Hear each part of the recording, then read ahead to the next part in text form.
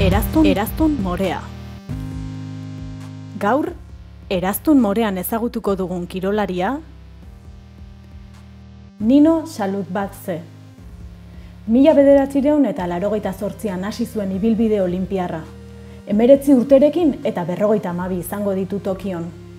Olimpiar jokoetan parte hartze gehien dituen emakumea da. Hiru domina olimpiko lortu ditu. Urrea eta zilarra seulen eta brontzea pekinen. Salut batze ezaguna egin zen 2000 eta zortziko Pekingo Olimpiar jokoetan. Podiumean zeudela besarkatu egin zuen bigarren sailkatua, Natalia Paderina errusiarra. Bi herrialdeak gerran zeuden egosetian. Salut batzek hiru bandera defendatu ditu Olimpiar jokoetan. Aurrena Sobiet batasunarena, gero talde bateratuarena eta azkenik Georgiarena.